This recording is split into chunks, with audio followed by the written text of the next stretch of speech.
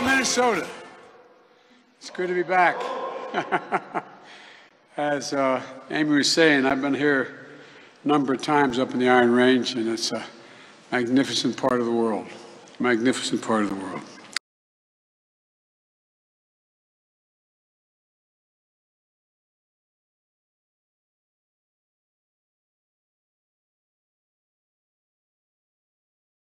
your jobs. Then I came along and I opened it up, so that's pretty good.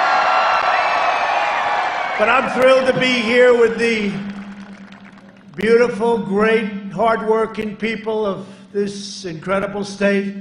You're really hardworking American patriots. That's what you are. And a lot of people haven't been treated right until I came along, and we've done a lot of work and a lot of good work.